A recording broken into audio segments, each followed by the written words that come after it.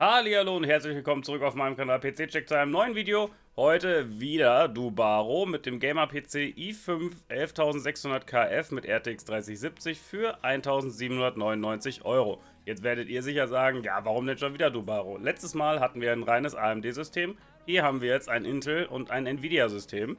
Hier haben wir auch kurz die technischen Daten. Intel i5 11600 KF, eine 8 GB RTX 3070, 16 GB RAM DDR4 3600, 1000 GB NVMe SSD und das ASRock B560 Steel Legend. Kurz zu dem Bild, der RAM, der stimmt sowieso nicht, hier ist G-Skill Aegis drauf, wir kriegen viel bessere mit dem Corsa Vengeance RGB. Dazu noch der Lüfter hier ist der Standardlüfter, wir bekommen einen Darkrock. Die Grafikkarte kann ich nicht beurteilen, also es ist einfach nur ein Beispielbild, kann man nicht viel zu sagen. Ist auf jeden Fall nicht fake, wird nicht zu viel versprochen und wir gehen es einfach mal durch. Als Prozessor der Intel i5 11600 KF mit 6x3,90 GHz, 4,90 GHz Turbotakt, 12 MB Cache. Hier haben wir ihn auch schon, ist ein 6-Kerner, wie der Name ja auch schon gesagt hat, ist ohne Grafikeinheit, aber übertaktbar. Dafür steht das K in dieser Kürzelbeschreibung hier. Unterstützt offiziell 3200 MHz RAM, wir kriegen 3600er, was schon mal sehr nice ist, das heißt der RAM ist leicht übertaktet. Wenn ihr streamen wollt, rate ich immer eher zu einem 8-Kerner, sofern ihr denn über den Prozessor dann rendern wollt, rendert ihr über die Grafikkarte, ist das erstmal hinfällig. Da könnt ihr auch einfach diesen Prozessor nehmen, überhaupt kein Ding.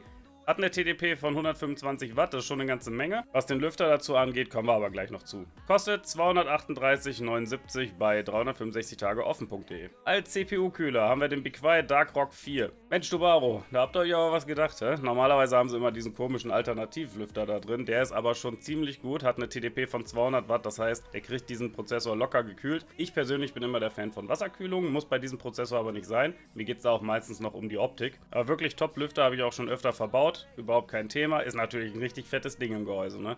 Das nimmt eine ganze Menge Platz weg. Kostet 49,99 Euro bei Notebooks billiger. Das Mainboard ASRock B560 Steel Legend. Naja, wer das Design mag. Das ist so ein bisschen in Camouflage, Military-Optik gehalten. Ich mag es jetzt nicht so unbedingt, aber scheiß der Hund drauf. Hier haben wir kühlte Spannungswandler, vier RAM-Bänke, einen M2-Slot für die SSD, die darin verbaut wird. Hier kommt die Grafikkarte rein. Hier habt ihr noch einen weiteren M.2-Slot. Diesen Slot könnt ihr eventuell nicht benutzen, weil der zu nah an der Grafikkarte liegt und eventuell von dem Kühlkörper verdeckt wird. Aber da könnt ihr zum Beispiel eine WLAN-Karte erweitern. Hier eine Capture-Card, vielleicht eine USB-Erweiterungskarte, was ihr gerne möchtet. Hier unten ist noch ein M.2-Slot. Dann bekommen wir als Anschluss einmal 7.1, dazu Netzwerk, viermal USB 3.0, einmal USB-C 3.1, Displayport HDMI, braucht ihr in dem Fall nicht, weil der Prozessor keine integrierte Grafikeinheit hat, dafür steht das F im Prozessornamen und zweimal USB 2.0 und P-2 werdet ihr wahrscheinlich auch nicht verwenden. Alles in allem ein grundsolides Board, kann ich überhaupt nicht meckern, hat natürlich auch noch ein bisschen RGB-Beleuchtung, ist auch ganz schick. Mir persönlich gefällt es jetzt nicht, aber das ist jetzt jedem selber überlassen. Bei mir geht es jetzt nur ums Design. Funktionstechnisch ist das schon ein gutes Board. Kostet auch stolze 132,86 Euro bei Mindfactory. Als Grafikkarte haben wir die 8 GB Nvidia RTX 3070 beliebiger Hersteller. Ja, es ist jetzt wieder so eine Thematik, ihr wisst nicht, was ihr kriegt. Das finde ich immer ziemlich schade. Die verbauen halt nach Verfügbarkeit. Da könnt ihr ein bisschen Glück haben, eine gute kriegen, eine Triple-Fan zum Beispiel. Oder Pech, habt ihr eine Dual-Fan. Ist jetzt auch nicht schlimm, ist halt ein bisschen lauter dann. Die Dual-Fans sind bekannterweise immer ein bisschen lauter. Alles in allem aber eine gute Grafikkarte, hat eine TDP von 220 Watt laut Nvidia. Wenn wir jetzt die hier nehmen würden, wären es 240 Watt laut MSI. Tut dem Ganzen aber keinen Abbruch. Zu einem FPS-Test kommen wir gleich noch. Das wird sich ja immer gewünscht, dass ich zeige, was der Prozessor in Kombination mit der Grafikkarte so kann. Packen wir für 929 Euro überall in den Warenkorb. Arbeitsspeicher 16 GB, 2x8 GB, Dual Channel, ganz wichtig, wisst ihr. DDR4 Corsair 3600 MHz Vengeance RGB Pro. Meine Güte, da haben sie sich wieder was beigedacht. 3600 MHz finde ich schade, dass sie das bei den AMD-Systemen nicht machen. Verstehe ich nicht, weil gerade die AMD-Systeme können das ziemlich gut ab. Intel natürlich auch, klar. Nur da ist es auch bekannter, dass AMD eben auch gut mit 3600 oder sogar 4000 rennt. 4000er braucht er gar nicht zu kaufen, die sind unbezahlbar, die kosten fast das Doppelte gegenüber dem 3.6 oder 3.2er. Auf jeden Fall guter RAM mit RGB-Beleuchtung, haben wir auf dem Bild auch nicht gesehen, das heißt, das Bild ist sogar ein bisschen Understatement. 16 GB reichen in dieser Preisklasse auch erstmal aus, 32 wäre natürlich ganz schick gewesen, aber man kann nicht alles haben, dann wäre es natürlich auch wieder teurer geworden. Ihr könnt es ja immer noch umrüsten, wenn ihr unbedingt 32 GB haben wollt. Kostet 82,86 Euro bei Mindfactory. Als Festplatte haben wir die bekannte 1 TB Kingston NV1. Die haben wir schon öfters in den Videos gezeigt, genauso wie die Crucial P1, Crucial P2 und wie sie alle heißen. Tun sich alle nicht viel, ist eine gute SSD, zum Zocken reicht die alle Male, schiebt jetzt natürlich täglich mehrere Gigabyte an Daten hin und her zwischen zwei SSDs, sage ich jetzt mal. Dann würde eine andere mehr Sinn machen, aber die reicht wie gesagt völlig aus, hat eine Lesegeschwindigkeit von 2100 MB die Sekunde und eine Schreibgeschwindigkeit von 1700 MB die Sekunde. 1 Terabyte auch völlig angemessen der Preisklasse, kostet 83,99 Euro über ProShop. Laufwerk ohne, ja das ist klar. Multimedia 7.1, auch klar, haben wir eben schon angesprochen. Netzteil 700 Watt Be Quiet Pure Power 11 und auch ein gescheites Netzteil. Ich verbaue die ziemlich gerne. Ich habe immer Straight Power und Pure Power verkauft bzw. verbaut in Kunden-PCs und das sind gute Netzteile. Ist jetzt natürlich nicht modular, interessiert euch aber in erster Linie auch nicht, weil das System ja sowieso fertig zu euch nach Hause kommt. Hat eine 80 Plus Gold Zertifizierung, das heißt auch entsprechend effizient. Zu der Effizienz kommen wir gleich auch noch und kostet 78,14 Euro bei Mindfactory. Zum Thema Effizienz, wie gesagt, das Netzteil hat 700 Watt. Betreibt ihr ein Netzteil bei 50% Auslastung ist es am effizientesten. Wir bekommen hier, wenn wir zum Beispiel die Grafikkarte und den Prozessor und das System allgemein mal zusammenrechnen, auf 441 Watt mit Puffer 491 Watt. Das heißt, ihr pummelt so bei 55 bis 60 Prozent rum. Sprich, das Netzteil ist auch sehr effizient in diesem PC. Und wenn ihr hinterher noch upgraden wollt auf eine 3070 Ti oder zum Beispiel 3080, dann könnt ihr das auch noch ohne Probleme machen. Gehäuse, Be Quiet PureBase 500DX schwarz mit Glasfenster. Ja, brauchen wir nicht viel zu sagen, das Ding ist hässlich wie die Nacht. Es ist ein extrem gutes Gehäuse. Es hat einen guten Airflow, es kommen drei Lüfter mit dazu, es hat RGB-Beleuchtung in der Front. Ja, das ist alles schick, das hat auch Platz. Funktionalität ist bei diesen Gehäusen immer gegeben von Be Quiet. Aber es ist einfach nur pottenhässlich. Man muss so sagen, wie es ist, ne? Könnt ihr natürlich tauschen, wobei ich bin immer so der Typ, ich sag eher Funktionalität und dann kommt irgendwann das Design.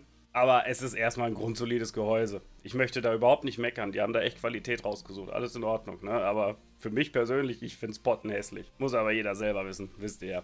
Kostet 82 Euro beim Factory. So, Betriebssystem wie immer optional erhältlich, könnt ihr dann bei Dubaro kaufen oder eben bei meinem Partner CDK Deals für 14 Euro. Service 2 Jahre Garantie, Retourenschein im Reklamationsfall, ja das ist so im Rahmen. Es gibt einige Hersteller, die sagen halt 3 Jahre, hier sind es leider nur 2, das reicht aber erstmal aus. Über das Mainboard haben wir eben gesprochen, über die Grafikkarte, einmal HDMI und dreimal DisplayPort. Das Gehäuse selbst hat nochmal einmal USB A 3.0, einmal Kopfhörer und einmal Mikrofon. Olgard Internet Security landet wie immer in der Tonne.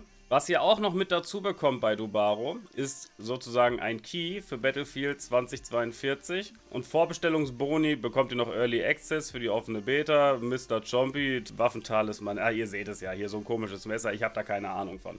Ich spiele dieses Spiel nicht oder beziehungsweise als erstes Battlefield war 1942 und danach habe ich keins mehr gespielt. Aber das bekommt ihr nun mal kostenfrei mit dabei und deswegen rechnen wir das auch noch in den Warenkorb mit dazu. Kostet derzeit 56,99 Euro bei Saturn. Und dann wären wir auch schon beim Endergebnis. Hier haben wir die SSD, den Prozessor, den RAM, Grafikkarte, in dem Fall die MSI, es kann natürlich auch jede andere sein, das Mainboard, der Lüfter, das Gehäuse und das Netzteil und das Spiel. Und da kommen wir auf einen Gesamtpreis von 1734,62 Euro. Das System soll kosten 1799. So, sprich, wenn ihr selbst das Spiel jetzt wieder abziehen würdet, weil ihr denkt, das ist Quatsch, seid ihr bei ungefähr 120 Euro, 130 Euro fürs Zusammenbauen, was noch völlig im Rahmen ist. Das System ist okay.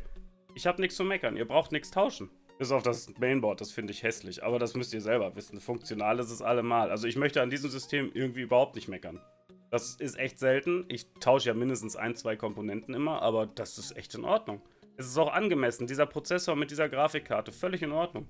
Dass ihr 3600er RAM kriegt, RGB-Beleuchtung, ist auch nicht selbstverständlich. Ne? Also, ich finde das System echt schon gut. Wenn ihr mehr Speicher braucht, dann fuddelt euch vielleicht noch eine HDD mit rein oder eine 2,5 Zoll SSD. Das müsst ihr aber, wie gesagt, selber wissen. An und für sich, Standalone, wenn ihr das so bestellt und zocken wollt, bitte.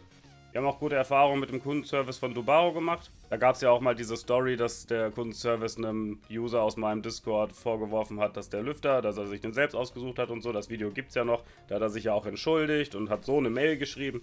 Das war alles völlig in Ordnung. Deswegen, wenn ihr jetzt gerade ein gutes System haben wollt, bitteschön, da ist er. Für 1799 Euro ist natürlich eine Stange Geld, aber ihr kriegt Qualität. Man muss es so sagen. Ich will hier nicht die Werbetrommel rühren, aber ich muss auch mal loben wenn es gut läuft. Ist doch völlig okay. Jetzt kommen wir nochmal zu dem angesprochenen FPS-Test. Hier haben wir den i5 11600K, nicht den KF, macht aber, was die Leistung angeht, keinen Unterschied. Und die 3070, Test in 10 Spielen, 1080p, 1440p und 4K. Starten wir mit Hitman 3. Da haben wir ein Average von 111 FPS auf 1080p Ultra. Nehmen wir 1440p Ultra, haben wir 112 FPS im Average. Und nehmen wir 2160p auf Ultra, haben wir immer noch 71 FPS. Alles ab 60 FPS ist natürlich spielbar. Ja, nehmen wir auch mal den Microsoft Flugsimulator. Der ist tatsächlich sehr anstrengend für die Grafikkarte. 1080p, da hängt er schon auf 69 FPS. Auf 1440p, auch Ultra, sind wir bei 57 FPS. Und bei 2160p auf Ultra sind wir bei 37 FPS. Jetzt muss man bei diesem Spiel natürlich sagen, es ist ein Flugsimulator und kein Shooter. 37 FPS dürften da eigentlich auch noch ausreichen. Dann kommen wir noch zu Cyberpunk, 1080p auf Ultra, DLSS auf Quality gestellt, Raytracing aus bei 98 FPS. Auf 1440p sind wir bei 92 FPS. Und nehmen wir 2960p sind wir bei 49 FPS. Fortnite, der Klassiker 1080p auf episch, DLSS auf Qualität, 166 FPS. Bei 1440p sind wir bei 143 FPS. Und bei 2160p auch auf episch 83 FPS. Und zu guter Letzt nehmen wir auch noch GTA 5, das interessiert die meisten ja auch noch. Nehmt ihr 1080p auf Ultra, seid ihr bei 117 FPS. Auf 1440p seid ihr auf 115 FPS, auch auf Ultra. Und auf 2160p auf Ultra seid ihr immer noch bei 88 FPS. Gut, das wäre es dann auch schon mit diesem Video. Wie gesagt, das System ist völlig in Ordnung. Ich packe euch den Link in die Beschreibung. Wenn ihr das kaufen möchtet, tut das ruhig. Ich bin auch nicht gepartnert mit Dubaro. Ich sehe keinen Cent davon. Ich verdiene mein Geld sozusagen mit YouTube, was jetzt auch nicht sonderlich viel ist, aber ist ja auch egal. Jedenfalls bin ich nicht gepartnert. Ich bin völlig unvoreingenommen, was Dubaro jetzt angeht. Ich sage aber wirklich, das System ist in Ordnung. Kauft euch das so. Der Airflow, der ist auch gegeben bei diesem Gehäuse. Ich kenne das Gehäuse ja, ich habe schon öfters verbaut. Von daher, klare Kaufempfehlung. Vielen Dank fürs Zuschauen. Lasst ein Däumchen nach oben da. Abonniert den Kanal, wenn ihr es noch nicht gemacht habt. Schreibt auch ruhig mal in die Kommentare, was ihr davon haltet. Und dann bis zum nächsten Mal. Auf Wiedersehen und ciao, ciao.